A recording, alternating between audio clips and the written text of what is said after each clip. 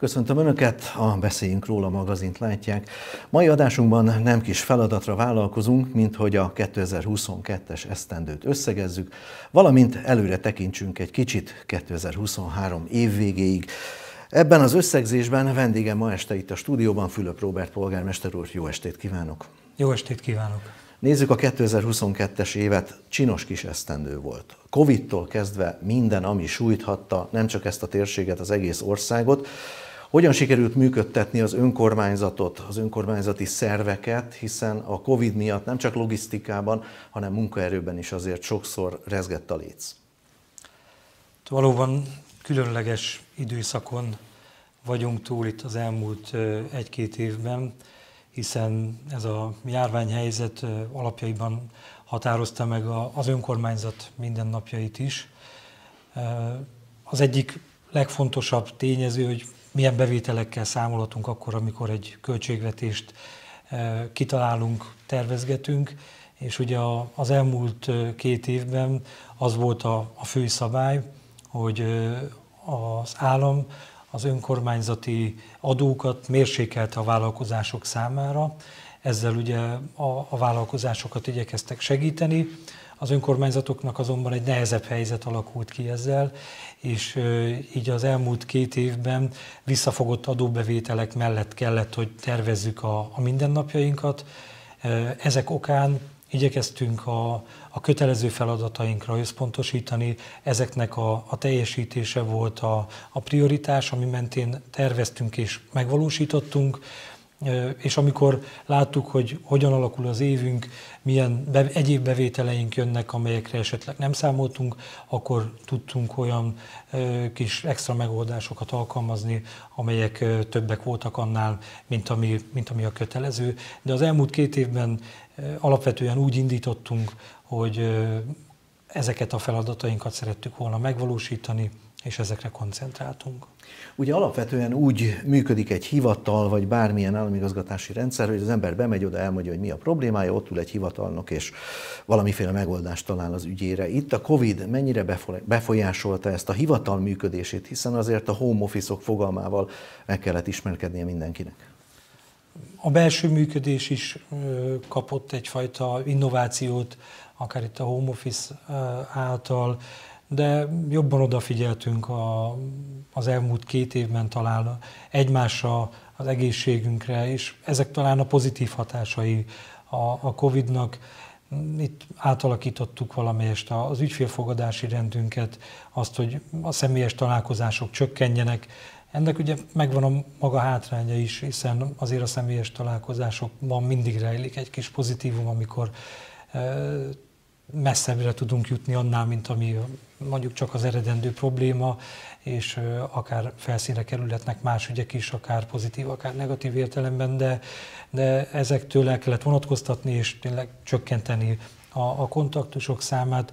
Gyakorlatilag erre figyeltünk oda, e, ilyen módon alakítottuk a, az ügyfélszolgálatunkat, ilyen plexi ablakokat e, próbáltunk a, az ügyfélszolgálatos kollégáink védelmében beállítani a rendszerben, illetve hát ezeket az időszakokat e, csökkenteni, valamint az elektronikus megoldások irányába terelni az ügyfeleinket. Ennek nem csak az a haszna egyébként, hogy ezt a fajta kontaktolást csökkenti, hanem valójában az elektronikus ügyintézéssel lehet olcsóbbá tenni magát a hivatali működést is, tehát ezt továbbra is preferálni fogjuk. Gondolok itt akár arra, hogy ne csak csekkes módon rendezze az ember a, akár az adófizetési kötelezettségeit, hanem lehet ezt most már elektronikusan ügyfélkapunk keresztül is intézni. Hogyan látja, visszaállt a társadalmi élet ebben a városban? Hiszen a Covid idején az volt, hogy maradj otthon, most meg az, az lenne a jó, hogy gyere ide, gyere hozzánk. Mennyire állt ez vissza? Én úgy látom, hogy az a e, visszarendeződés, ami mondjuk egy ilyen hirtelen V betűt ír le, ugye ezt sokszor hallhattuk itt mostanában a válság idejében, ennek a Covid válságnak az idejében, hogy e, van egyfajta olyan válságkezelés, amikor viszonylag gyorsan visszaállnak az eredeti állapotba a tényezők. Én úgy látom, hogy maga az emberi kapcsolatokat, hogyha le tudnánk írni így, akkor ez valamelyest lassabban történik meg. egy ilyen elhúzódó visszarendeződésre számítok én, és valójában ez alatt a két év alatt elég jól elszoktunk attól, hogy, hogy közösségbe járjunk, és szerintem komolyabb munka lesz visszaépíteni azokat a, a közösségi tereinket és, és együttléteinket, amelyeket megszokhattunk a korábbi időszakban. Van természetesen olyan helyszín és olyan közösségek, amik most is működnek, de én magam elmondhatom a, saját napi renderemről és programjaimból, hogy, hogy sokkal több helyre volt meghívásom a, a Covid-ot megelőzően, mint itt az elmúlt két évben. Tehát érezhető az én számomra is az, hogy a, a helyi közösségek visszafogták ezeket a találkozási pontokat. Ugye minden település életében nagyon-nagyon fontos szegmens a közlekedés. Hogyan tudok én oda legegyszerűbben, lehetőleg nem öt átszállással eljutni? Kiskunhalas ebből a szempontból talán az 53-as főút, amely egyfelől áldás, egyfelől átok, mert a forgalom miatt panaszkodnak, de nagyon jó, hogy azért van itt egy ilyen átmenő út. Ugyanilyen fontos a vasút. Ez szintén nagyon megosztotta a, nem csak a város, az ország lakosságát. Hogyan állunk most a vasúttal? Mit remél tőle az önkormányzat? Mert eh, Halas és Kisszánás között már nagyon jól haladnak a munkák. Úgy gondolom, hogy nagyon sok ember is várja azt, hogy itt dolgozhasson. Többek között, ha jól tudom, a Vári Szakképzőiskola például vasútforgalmi technikus képzést is indít. Nagy valószínűséggel ennek hatására. Igen, a Budapest-Belgrád eh, vasútvonal fejlesztése az azt gondolom, hogy egy gazdasági dimenzióváltást fog tudni hozni a mi életünkben. Valójában nem csak gazdasági értelemben, hanem szerintem magát a, a várost is egy, egy magasabb szintre fogja tudni emelni, hiszen ha csak a, a fürdőre gondolok, akkor egy budapesti hirdetésre könnyebben fognak tudni reagálni, hogyha egy óra alatt ide tud érni egy turista, mint a mostani állapotban, hogy két és fél órát kellett utazni a vasúton. Gazdasági értelemben, ha ezt a logisztikai terminált, amit tervezünk, sikerül megvalósítanunk, akkor azt gondolom, hogy sokkal több kaput fogunk tudni megnyitni vele a, világpiac irányában. Egyrészt a mostani vállalkozásainknak is könnyebb lesz az árubeszerzése, az áru mozgatása, valamint ugyanezt a lehetőséget tudjuk majd kínálni azoknak, akik keresik az új telephelyeket, az új lehetőségeket, és ez kellő alapot fog tudni jelenteni arra, hogy Kiskolnasra komoly befektetéseket hozzunk. Nem biztos, hogy mindenki halasi, aki nézi a műsort, és befektetőkhöz szólunk. Hol lesz ez a tervezett logisztikai központ, és hogyan fog ez majd kinézni? A mostani terveink alapján gyakorlatilag az Átlós út, a Szegedi út és a vasútvonal közti területre álmodtuk meg ezt a logisztikai terminált. Ez közvetlenül a vasútvonal mellett helyezkedne el, és tervezés alatt van ugyan mm, a mostani állapotban is, tehát van egy folyamatban lévő pályázatunk, amiben tervezzük ennek a logisztikai terminálnak a, a helyzetét, a kialakítását de azt tudom elmondani, hogy ugye az elkerülő út most is szerepel a városrendezési tervben, ezt is módosítani fogjuk, és egy kicsit kikerekítjük az elkerülő utat, hogy még nagyobb területet e, tudjunk bevonni ebben a, az ipari zónában, hiszen itt e, nem csak maga a logisztikai terminál kapna helyet, hanem plusz e, ipari területeket hoznánk létre, pontosan azért, hogy a, a terminál okán ide települni kívánó vállalkozásokat ki tudjuk majd szolgálni a jövőben. Ez magával hozhatja azt, hogy a jelenlegi parkcenter, amely most, most is bővül, hiszen van egy főleg élelmiszer áruház, amely régebb óta ott van, de mellé épült egy főként bútorral foglalkozó vállalkozás, majd jött egy barkácsáruház, ha fogalmazhatok így. Lehet, hogy azt hozza magával, hogy több vállalkozó úgy gondolkodik, hogy ott a vasút 500 méterrel arrébb pedig ott lesz az áruházam? Igen, nagyon szépen alakult az a kereskedelmi központ rész a déli városkapunál. Újabb két vállalkozás fog betelepülni, illetve hát folyamatban van már a beruházás. A tavalyi évben ez elkezdődött már, én azt gondolom, hogy idén május környékén lehet majd a, a kapunyítás ezekben az üzletekben. Ott nagyjából ez a, a kereskedelmi terület belakottá is válik mostani két beruházás által A vasút túloldalán én inkább tudnék elképzelni olyan termelővállalkozásokat, amelyek magasabb hozzáadott értéket adnak. Tehát nem, nem kifejezetten ilyen kereskedelmi zónának álmodjuk ma ezt a területet, hanem inkább munkahelyteremtő és foglalkoztatásra összpontosító vállalkozásokat szeretnénk megszólítani erre a telephelyre. Hát valamint ugye működik most már nagyjából ezer fő fogva tartottal a, a börtön, azt is szeretnénk, hogyha a börtönt is ki tudnánk szolgálni ilyen értelemben, és tudnánk munkalehetőséget biztosítani a fogvatartottak számára. Ipari park. Mennyire lett ez csábítva a vállalkozások számára, mert elég régóta elkészült, és bizony látok azért új csarnokokat, tehát látnak benne fantáziát a vállalkozók. Igen, amikor az ipari park területeit feltártuk egy újabb pályázat segítségével, akkor komoly érdeklődést mutatott a, terület, és ez azóta is megvan. Kellett még egy kis újratervezést csinálnunk, voltak olyan részei a területnek, amelyek nehezen voltak elérhetőek, ezeket azonban most január folyamán elkezdjük majd meghirdetni, tehát vannak még nem túl nagy, ilyen pár ezer négyzetméteres területek az ipari parkban, melyeket idén szeretnénk értékesíteni, erre a felhívás ki fog menni. És azt tudom mondani, hogy ezeken a pár ezer négyzetméteren túl nem is maradt az önkormányzatnak olyan területe, amely már a fejlesztéssel érintett, tehát új területeket kell majd felfedeznünk ahhoz, hogy újabb beruházásokat tudjunk indukálni. Ugye buszállomás elkészült, valószínűleg a polgármesteri notezben egy ilyen nagy pipa bekerült, hogy végre megvan. Mit hozhat ez, mindez a közlekedés Kiskunhalasnak?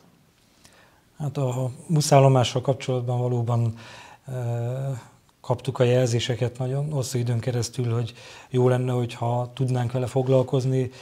Sok fejlesztést meg tudtunk valósítani a, az elmúlt években, és a, a buszállomás a városközpontban egy ilyen eh, ott maradt foltként eh, hát nem volt túl szép része a városunknak, és hát nagy öröm az, hogy immáron eljutottunk odáig, hogy meg tudtuk valósítani ennek a teljes rekonstrukcióját, és ráadásul most már fél éve üzemel is, és el lehet mondani azt is, hogy talán nincs gond azzal sem, hogy a buszok beférjenek, hiszen ezzel kapcsolatban is voltak mendemondák, de én úgy látom, hogy, hogy most arra teljes mértékben birtokba vette a volán, a, közlekedők és, és nagy örömmel használják, és én úgy látom, hogy, hogy sikerült egy, egy modern, a 21. század minden kihívásainak megfelelő buszállomást létrehoznunk. Én bízom benne, hogy aki Kiskolnasra látogat, és mondjuk hosszabb ideje nem járt nálunk, az örömmel veszi észre, hogy milyen szépen és milyen jó útemben fejlődik a városunk. Beszéltünk a kétfajta tömegközlekedésről, maradjunk itt helyben. Városi utak fejlesztése, illetve az ezzel párhuzamosan sorra kialakuló kerékpárút hálózat kialakítása. Továbbra is ez lesz a cél, hogy ahol lehet, ott a gyűjtőutak menjenek tovább, és friss aszfaltot kapjanak, és ahol lehet, ott legyen mellette egy kerékpárút? A gyűjtőút felújítási programot igyekszünk a források rendelkezésre állásának alapján vinni tovább, tehát arra kell készülnünk, hogy a, a mostani ütemben befejeződő útépítések után újabbak fognak a célkeresztünkben kerülni. Én úgy emlékszem, hogy a következő a sorrendben a Batyány utca lesz. Ennek a, a tervezésére gyakorlatilag már tettünk lépéseket, tehát az előkészítés folyamatban van, és bízom benne, hogy még a 23-as évben találunk is majd úgy forrást, hogy akár ennek a, az útnak a, a felújítása is célkeresztbe kerülhet.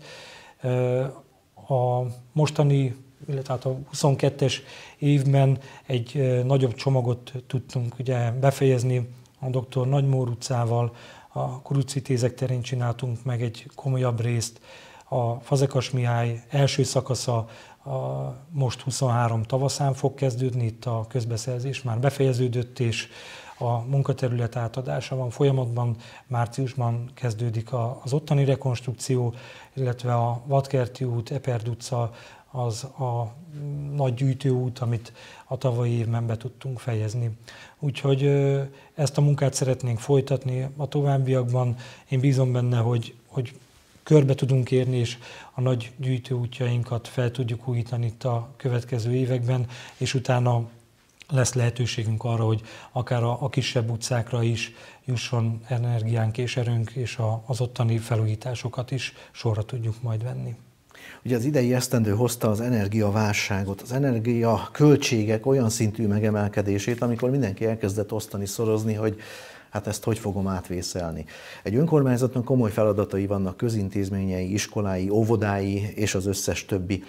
Nézzük azt, hogy hogyan sikerült ezt az eddigi energiaválságot átvészelni, hiszen ez nem csak a gázzal fűtőket érintette, hanem akár a távhővel rendelkező városokat, településeket és Kiskunhalason is, ha jól emlékszem, 1200 körüli távfűtőses lakás van, és több mint 50 olyan helyiség, ahol pedig vállalkozásoknak kellett volna a jóval megemeltebb költségeket kitermelni. Valóban egy új jelenséggel találtuk szembe magunkat a tavalyi év közepén. Az energiaválság köszöntött be ránk is, és az önkormányzatot és a várost sem hagyta ki ez a fajta válság, és Hát gyakorlatilag erről szólt az utóbbi fél évünk, pár hónapunk, hogy erre a kihívásra kerestük a megoldásokat. Valóban itt az árammal, gázzal, távhővel működő vállalkozások, lakások is érintettek, tehát mindenkinek át kellett gondolni azt, hogy hogyan fogja tudni üzemeltetni azokat a struktúrákat, amelyeket korábban megszokott, hogy mennyibe került, mennyi volt a rezsie. Mindenki elkezdett számolni, önkormányzatunk is, és hát bizony jöttek ijesztő számok a, a kalkulációk végén. Találkoztunk olyan mértékben megnövekedett költségekkel is, amelyek akár a tízszeres szózót is meghaladták. Hát ekkor a mértékű tartalékokat pedig a rendszer nem tartalmazott, tehát nagyon meg voltunk ijedve, hogy, hogy hogyan fogjuk tudni kezelni a, a helyzetet, hogyha így maradnak ezek a számok, és minden egyes szegmensnél ugyanez a drágulás, vagy ugyanezek a mértékek lesznek tetten érhetőek, de szerencsére azért a piac is azóta egy kicsit korrigált. Gyakorlatilag most a hétnek a, az egyik híre volt az, hogy az önkormányzatok kapnak segítséget az államtól, Úgyhogy ezúton is köszönöm Bányai Gábor képviselő úrnak a segítséget, hogy eljárt az ügyünkben, és kapunk ilyen értelemben segítséget a kormányzattól. Tehát ezek mind-mind abba az irányba terelnek minket, hogy nyugodtak lehetünk a felől, hogy végig fogjuk tudni csinálni ezt a 23-as évet, és hát arra kell figyeljünk, hogy olyan beruházásokat indukáljunk, amelyek tovább csökkenthetik a, az energiakitettségünket. Ebben egyébként jók voltunk az elmúlt években is. Nagyon sok intézményünket, helyszínünket felújítottuk, energetikailag rendbe raktuk. Ennek a a működési költségekben lévő megtakarítás lett volna a célja eredendően is, tehát ott szerettünk volna egy kicsit visszafogni a költségeinken, így pedig, hogy ezek a fajta költségek nagyon elszálltak, így ez duplán, triplán vagy akár tízszeresen is megérte, hogy korábban ezekre a területekre nagyobb figyelmet fordítottunk. Próbálom a, több, a következő témakört egy picit összefoglalni a nézők számára, mert 10 percünk van hátra, és még, még sok mindenről kellene beszélni. Az elmúlt esztendőkben a turisztikai fejlesztésekről volt szó, Kiskunhalason, Csetényi Park, Városházi kilátó, Szélmalom, Sóstófejlesztés és a többi. Most azonban arról lehet hallani, hogy a turisztikai fejlesztések kapcsán létrejön egy integráció, amely egy nagy szervezetet hoz létre. Arra kérem, hogy mondja el, hogy, hogy hogyan fog felépülni ez a szervezet, amelynek egyik alegysége most a turisztika, ha jól tudom, és mi volt ennek a döntésnek a fő célja? Mi hozta ezt létre? Valóban a tavaly szeptemberi testületi ülésen született arról döntés, hogy létrehozunk egy új integrált szervezetet, amely gyakorlatilag minden egyes olyan funkciót az önkormányzatnál, ami kultúra, turisztika, kommunikáció, ezeket a, a könnyednek, szoftnak nevezhető részeket egy égisz alá, egy jogi személyiség alá gyúrja be, és megpróbáljuk a, az itt lévő szinergiákat kihasználni. Tehát tulajdonképpen nagyon komoly turisztikai portfóliónk jött létre itt az elmúlt évek során.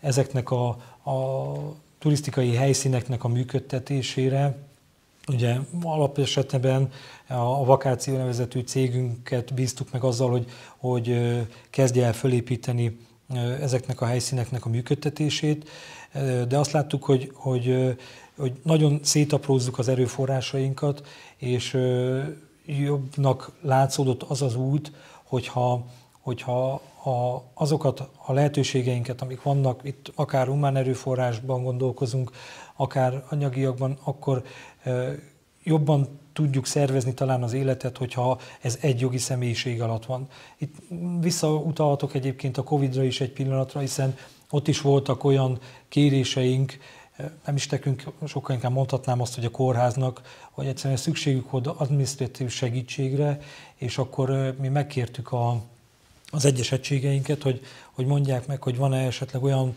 felszabadítható munkaerő, akit át tudunk irányítani a, a kórház égisze alá, és voltak egyébként önkétesen jelentkeztek olyanok, akik itt segítettek, legtöbbször ez betegirányítási feladatokat jelentett, illetve adminisztrációt, de több hónapon keresztül ott tudtak lenni munkatársak. És e, ezek a, a fajta átcsoportosítások, és amikor a, a, az egyik területen e, több a feladat, a másikon esetleg kevesebb, akkor egy jogi személyiség alatt jobban átszervezhetőek a folyamatok úgy, hogy ezek hatékonyabbak legyenek, és nem kell külső erőforrásokat bevonni. De lehet itt arra is gondolni, hogy, hogy akár egy karbantartást, takarítást, informatikát, tehát egy csomó kiegészítő szolgáltatást, amelyet mindegyik egységünk külön vett igénybe, azt ezek után a, a, a teljes csomagra vetítve lehet majd értelmezni, és talán ilyen értelemben egy költséghatékonyabb működést lehet elérni. Én ebben reménykedem és ebben bízom, hogy gyakorlatilag ugyanazon a, a költségszinten, amin működtek ezek az egységek külön-külön, ha egybegyúrjuk is, akkor valószínűsítem azt, mivel nem az a célunk, hogy, hogy leépítéseket hajtsunk végre és munkahelyeket szüntessünk meg, hanem sokkal inkább ez, hogy hatékonyabbá tegyük a rendszert, tehát olcsóbb nem lesz, de több feladatot fogunk tudni ellátni, meg magasabb minőségben azzal, hogy ezt az integrációt végrehajtottuk. Turisztikát említettem. Itt ugye a turisztikának a fő vonzereje egyfelől Kiskunhalas a Csipkevárosa, másfelől szeretne Kiskunhalas lenni a Csipke gyógyfürdővárosa. Szerintem polgármesterként nagyon sokszor feltették már önnek a kérdést, hogy az elmúlt időszakok történései után energiaválság, Covid-válság, rosszabb gazdasági helyzet, megépül ez a több mint 20 milliárdos strand? Mit lehet most erre mondani? Én rendkívül optimista vagyok továbbra is, hiszen rengeteg munkát, pénzt, energiát tettünk abba, hogy eljussunk ehhez a mostani fázishoz. Ami ugye azt jelenti, hogy meg van tervezve az új fürdő. A megtervezés azt jelenti a, mai napon, hogy az utolsó csavarig. Tehát a kiviteli tervek készen vannak, tulajdonképpen a közbeszerzési eljárás lefolytatása előtt állunk, ami magyarul azt jelenti, hogy a vállalkozót kell kiválasztani arra, hogy végrehajtsa a feladatot magát a fürdőnek a megépítését, és a források pedig úgy állnak rendelkezésünkre, hogy, hogy akkor, amikor ez a feltételes közbeszerzés, a vállalkozó kiválasztása megtörténik, akkor fogják a, a forrásokat hozzárendelni a, a feladathoz. És én azt tudom mondani, hogy mivel ez egy nagyon időigényes feladat, egy ekkora projektet eljutatni erre a szintre, én örülök annak, hogy nem nem tudom, 2018-ba, 19-be, 20-ba lett egy szám kimondva, hogy, hogy ez az az összeg, amiből Kiskunhalasnak az új fürdőt fel kell építeni, hanem azt az utat járjuk, hogy megyünk és mindig egy-egy részfeladatot oldunk meg, aminre megkaptuk a megfelelő forrásokat, ezen egyébként végig is mentünk. A, a feladatok most ott tartanak, hogy ugye a közbeszerzés már nem tud önkormányzati feladat lenni, a törvényi szabályozás miatt ezt már csak az állam tudja végrehajtani. A tavalyi évi átszervezések és a kormány újraalakítása miatt volt egy, egy viszonylag nagy fél éves ilyen szünet is, amikor nem nagyon találtuk meg a, a rendszerben azt, hogy, hogy ki fog itt a következő lépésre igen mondani, hogy tudjuk beindítani a folyamatokat, hogy a, a, a következő mozdulatok is beinduljanak de azt tudom mondani, hogy szerintem itt a, az idei év elején ezeken az akadályokon átlendülünk, és be tudjuk indítani a közbeszerzést. Én nagyon remélem, hogy az idei évben el tudjuk juttatni odáig a projektet, hogy alapkövet tegyünk le. Onnantól még nagyon hosszú lesz az út, mire az új fürdőt fogjuk tudni avatni, hiszen maga az építkezés is a tervező becslése szerint két-két és fél évet vesz igénybe, tehát ez is még önmagában egy hosszú folyamat. Addig sem maradunk egyébként fürdő nélkül, mert a tervek és a folyamatok úgy vannak kitalálva, hogy a meglévő fürdőt azt gyakorlatilag fogjuk tudni üzemeltetni szinte az utolsó pillanatig, de még azért hosszú idő lesz, mire eljutunk oda, hogy Kiskolosnak új fürdője lesz. Körülbelül három percünk van hátra. 2023-as költségvetés. Minden intézmény vezető, mindenki ilyenkor gondolom, hogy elmondja, hogy mire lenne szüksége. Aztán a polgármester belenéz a pénztárcába, a lehetőségekbe, a pályázati forrásokra, és hoz egy döntést. Mit lehet remélni a 23-as önkormányzati költségvetéstől? Én ugyanazt érzem most, mint a, a tavalyi évben ilyenkor, tehát arra fogunk koncentrálni, hogy a kötelező feladatainkat teljesítsük, és ez mindenképpen bekerüljön a, a költségvetésbe stabilan, és ezen túl pedig igyekszünk inkább tartalékot képezni, és olyan projekteket megvalósítani, amelyek külső források bevonásával megvalósíthatóak és a ma saját belső működésünket inkább a, a tartalékok biztonságára helyezni, hogy, hogy ne érjenek bennünket meglepetések, mint a, volt most ez az idei évben, amikor a, az energiaárak elszabadultak. Úgyhogy én arra számítanék, lesznek nagyobb fejlesztések, tehát például a, Három energetikai pályázatunk van még folyamatban, amelynek a tervezése mozzárult le, a közbeszerzése most fog indulni, és szeretnénk ezt a, az idei tavasszal, nyáron elindítani ezeket a projekteket, a Kisvárosházát, a Csipke óvodánt, és hát úgy néz ki, hogy a Szabó Ervinen az egyik bérlakást fogjuk tudni felújítani, tehát ez a három energetikai projekt, illetve lesz egy, egy nagy életű városnak hívott projektünk, amely pedig a, a belvárost, a belvárosi részeken fog teljes megújulást hozni. Itt még a tervezés Mit folyik. Várható?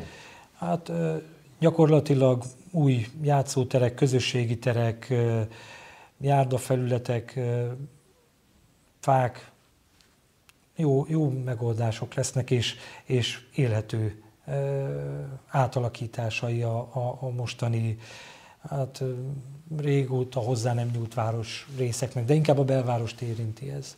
Azt Ugye említette mondani. a belvárost és az újabb közösségépítést, hogy szépen vissza kell térni a, a normál kerékvágásba. Nagyvárosi rendezvények tekintetében mire lehet számítani 2023-ban? Továbbra is lesznek fesztiválok, továbbra is lesz szüret, továbbra is prioritást élvez az, hogy tényleg az évben legyen néhány olyan nap, amikor a halasiak leülnek, isznak egy bort, beszélgetnek, és találkoznak barátokkal. Én azt gondolom, hogy ha egészségügyi okai nem lesznek annak, hogy elhagyjuk ezeket a városi ünnepeinket, akkor ezeket meg szeretnénk tartani az idei évben is, és hát a forrásokat majd megteremtjük hozzá.